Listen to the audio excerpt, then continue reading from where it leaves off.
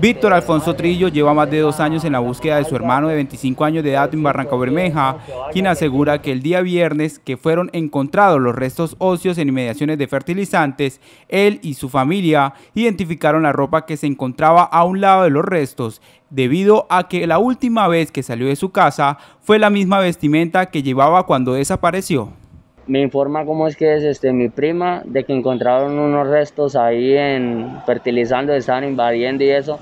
Llego al otro día, antes de que llegue criminalística y eso, y le digo a mi papá, papá, ¿dónde es? Mi papá me dice, allá, Víctor, bajo yo.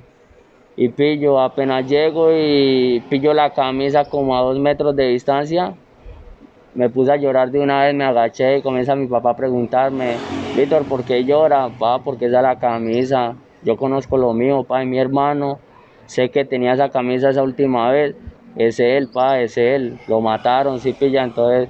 Actualmente las autoridades de investigación se encuentran haciendo el proceso pertinente para identificar la persona hallada en este sector.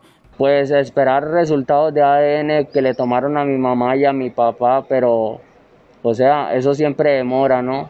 Pero, o sea, uno que ya conoce lo de uno, pues yo digo que sí es mi hermano, es mi hermano y pues pedirle a las autoridades que aceleren el caso, sí pillan, que aceleren el caso y todo, porque pues a mi hermano quizá lo torturaron y eso, y eso era lo que más nos decían, que a él lo habían picado. Víctor solo espera que las entidades puedan acelerar el procedimiento para así dar cristiana sepultura a los restos óseos. Su familia hoy pide a las autoridades competentes el reconocimiento de estos restos óseos y de ser así la explicación de las condiciones en las que se encontraba.